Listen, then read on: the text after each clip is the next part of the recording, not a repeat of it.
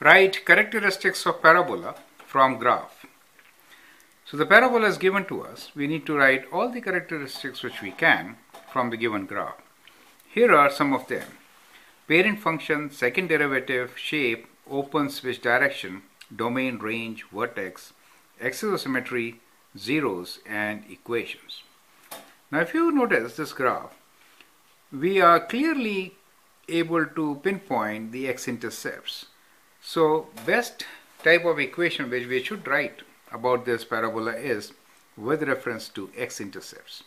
Well, let's try to answer all the questions now as much as we can looking at the graph. Parent function. For every parabola, parent function is y equals to x square, right? Second difference.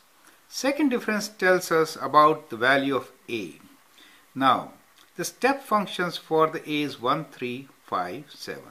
Now, if you see from here, if you move one step right, then how much do you go up?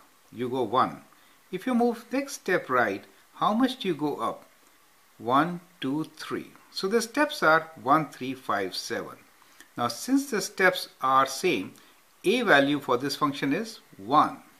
Now a is equals to 1, so second difference will be how much?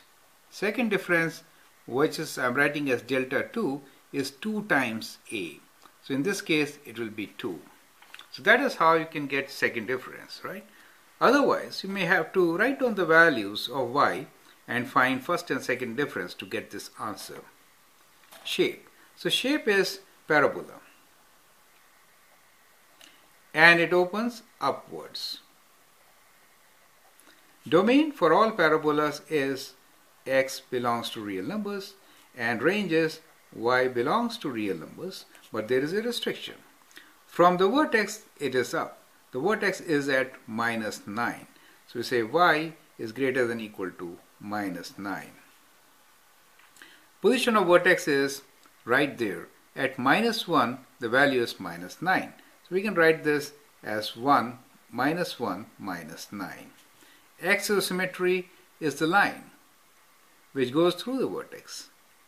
And this line equation is x equals to minus 1.